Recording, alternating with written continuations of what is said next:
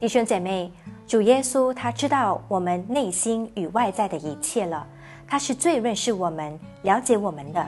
但很多时候，我们认识自己不像是主认识我们一样，所以一直寻找自己的价值在哪里，自己是怎么样的性格，甚至有时候也不知道自己真正需要的是什么。我们主耶稣他是真认识他的儿女们，那他是怎么认识我们呢？让我们一起来看今天的经文，在约翰福音一章四十五到四十八节。这里说，菲利找着拿丹叶，对他说：“摩西在律法上所写的和众先知所记的那一位，我们遇见了，就是约瑟的儿子拿撒勒人耶稣。”拿丹叶对他说：“拿撒勒还能出什么好的吗？”菲利说：“你来看。”耶稣看见拿丹叶来，就指着他说：“看哪！”这是个真以色列人，他心里是没有诡诈的。拿但业对耶稣说：“你从哪里知道我呢？”耶稣回答说：“菲利还没有招呼你，你在无花果树底下，我就看见你了。”各位，从这经文里面，耶稣知道关于拿但业的两种情况，如同他知道我们的情况一样。主是知道拿但业里面发生了什么事。也知道他外面发生了什么事，从哪里看到呢？主说的第一件事是：你是一个心里没有鬼杂的人。各位，这就是关于拿丹叶了，他内心里面的真相。然后主又说的第二件事是：菲利还没有招呼你，你在无花果树底下，我就看见你了。换句话说，当你离开我的视线时，我就看到你了。这就是关于外在的真相。于是，在四十九节，拿但业很惊讶地说：“拉比，你是神的儿子，你是以色列的王了。”今天，耶稣同样的认识我们内心的和外在的情况，这对我们来说是一种极大的恩典了。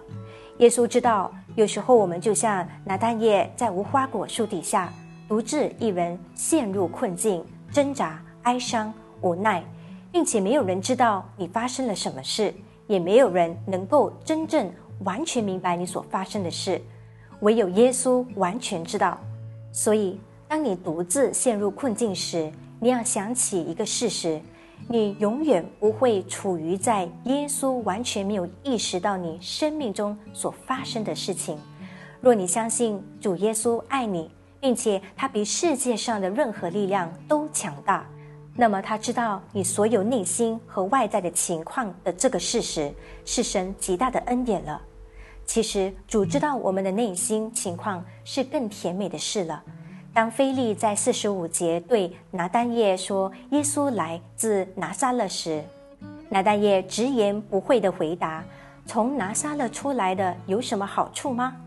各位，当他这样的回答的时候，你认为耶稣会怎么样想呢？其实，耶稣的第一个反应不是批评或控告他，那是在四十七节说道：“看呐，这是个真以色列人，他心里是没有诡诈的。”这里，我认为耶稣的意思并不是说他无罪。虽然拿单叶的直言并不好，但耶稣确实先看到他的内心里。至少，拿单叶不是两面人，他没有为了人情仁义而说话。没有戴着面具，他的直言也没有为自己的动机而说话，所以拿丹叶的直言写明他不是骗人的，他是正直的。而在主遇见他之前，主已经知道拿丹叶的内心。这就好像我们有时候会生气神，会埋怨神，偶尔会有些不幸，但主耶稣他知道我们内心真正的挣扎，主宁可让我们向他坦白，向他坦然。也不愿我们心里带着任何自己的动机了。那最后，主耶稣是真明白我们，他比任何人都知道理解我们的内心。这让我想到希伯来书四章十五到十六节说：“因我们的大祭司并非不能体恤我们的软弱，他也曾凡事受过试探，与我们一样，只是他没有犯罪。所以，我们只管坦然无惧的来到施恩的宝座前。”唯要得连续蒙恩惠，做随时的帮助。